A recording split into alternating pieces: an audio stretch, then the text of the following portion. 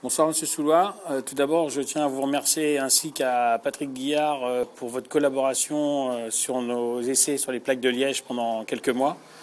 nous avons beaucoup appris avec vous, ça nous a beaucoup aidé. Aujourd'hui, peut-être grâce à vous et à Patrick, on a une plaque qui a, été beaucoup améliorée par rapport à l'ancienne. Donc je voulais avoir un peu votre avis sur la nouvelle version des plaques de Liège.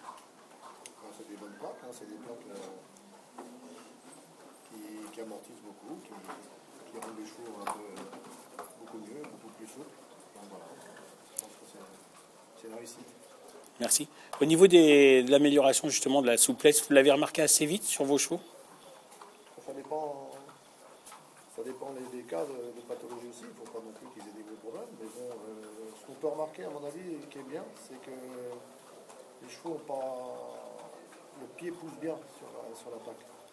Parce que souvent, avec des plaques en caoutchouc ou des plaques plastiques, ça chauffe le pied. Avec le liège, euh, euh, la chose bien, à mon avis, c'est que ça ne chauffe pas le pied. Les chevaux ont un pied qui pousse bien. Et ça, c'est important. D'accord. Et je voulais vous remercier aussi parce que vous m'avez dit que le plus grand défaut des plaques, justement, c'était leur résistance et qu'elles tenaient beaucoup, 4 semaines maintenant. Voilà, que c'était leur grand défaut parce qu'elles étaient trop résistantes par rapport aux anciennes. Je ah ouais, pense que. Beaucoup bonnes. Après, c'est sûr qu'en mettant beaucoup de liège, j'avais des problèmes. Maintenant, on n'a plus de problème comme ça. Elles tiennent bien, il n'y a pas de problème. Voilà. Mais je pense que c'est grâce à vous aussi si on arrive à les améliorer. Et puis aussi bien en résistance qu'en dureté. Et puis en longévité. Merci beaucoup, M. Soula. Okay.